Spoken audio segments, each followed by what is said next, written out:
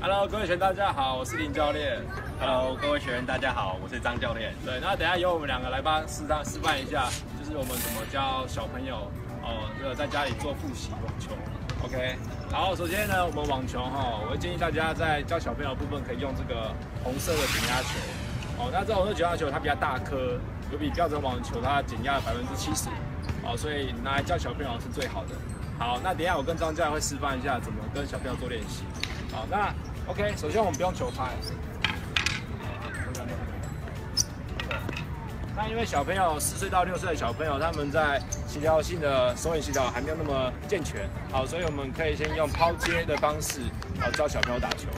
哦，吃完丢的了，，对，好，他传过来，哎，啊丢的，对，OK，很好。那你可以让他丢到反拍，好，让他稍微移动一下，对。如果说你的抛球小朋友可以很轻松接到的话，那代表说你的小朋友的手语协调非常的好，哦，在对球的反应是很好的。那我们就可以往下进行下个阶段，就拿球拍。嗯。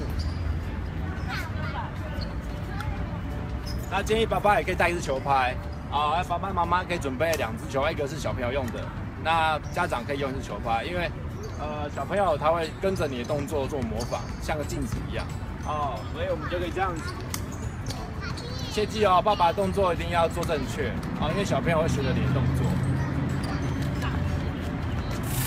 对，对对，可以把它停下来嘞，做一个这样子转身的这样运球动作。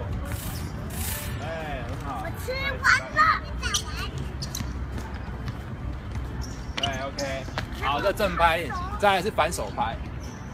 好，那反拍也是一样的，OK，这样子。对，练。对，好，那在这个动作的部分，你要切记小朋友有没有做侧身。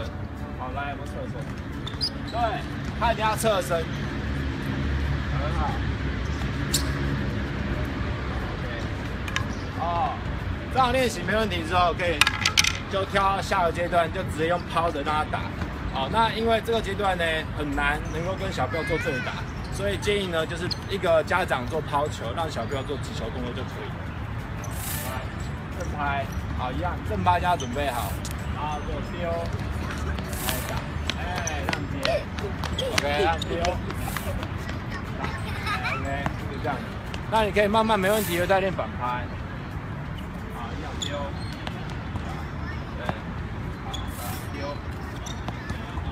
OK，好，如果 OK，难度可以慢慢调高。它如果说这边上课可能上一两期之后，它的整个打球方式都变得比较厉害的时候，就开始可以把这个速度加快。好，动起来，好，练习让他，对，然后有些不一样的方向，好，不一样的距离，对，OK，好，这样子的练习，啊，好，以上呢就是我们最简单的这个在家练习的方法。